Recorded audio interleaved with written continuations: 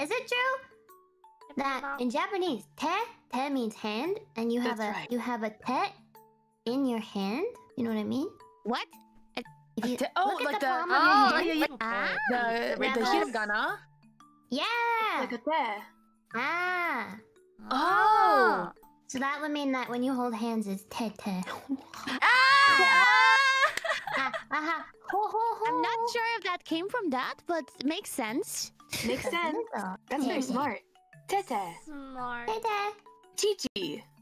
Itty. Okay. Oh. oh, all right. Well, that yeah, that went bottom left real yeah. fast. I uh, sure did. I'm not surprised.